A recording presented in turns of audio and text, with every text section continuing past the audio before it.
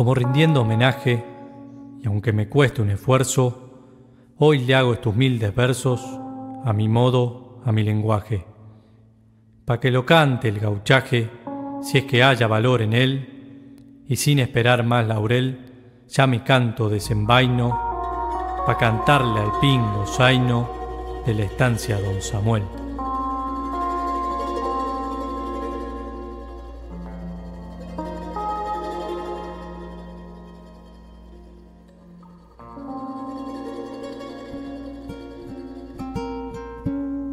Como una flor oculta que entre los campos se cría. Al no lo confundían con la demás caballada. Él anduvo en las aradas desde que fue redomón, hasta que en una ocasión lo probaron en trescientos y el zaino al partir de adentro salió como exhalación. Una vez supo enfrentar a un mentao padrillo oscuro, famoso yo se lo juro, y acostumbrado a ganar. Mas cuando arrancó a picar, el zaino lo aventajó, pero el otro arremetió, porque era pingo de agallas. Pero al llegar a la raya, el zainito lo venció.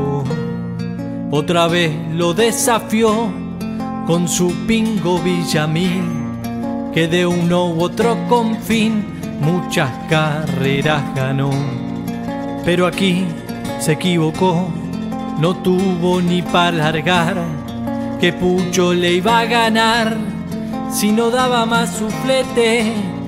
Y el Zaino la estancia al 7 le ganó sin castigar. La última vez que corrió, a un tostado decían que era ganador de 100 carreras y en que en toditas ganó.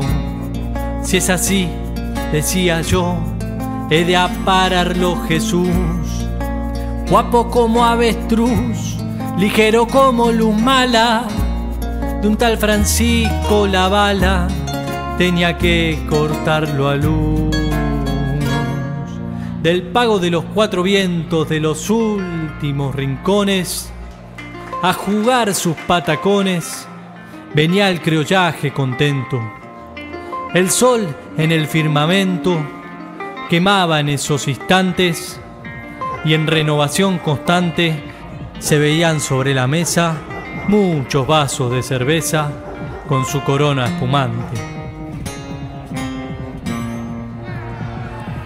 La gente remolineaba, tardaba mucho en largar, no se podían arreglar y la calor apretaba, los ánimos escandreaban del gentío alborotao y entre los gritos corearon, vociferan por las ventas, cien pesos contra sesenta, voy a que gana el tostado. Por fin el abanderado bajó nomás la bandera y se largó la carrera del Zaino contra el Tostao. Dos corredores mentaos se tenían fe en ganar y al fin se pudo escuchar la palabra del rayero. Ganó el Zaino, caballeros, no lo pudieron cortar. Mucho tiempo ha pasado, mucha agua bajo el puente, quedó atrás el siglo XX y esta copla ha despertado, pa' que no olvide el legado, la familia es lo primero, y aunque tiemble el avispero, sin dudar siempre pa'l frente, los Villegas dicen presente al compás del guitarrero.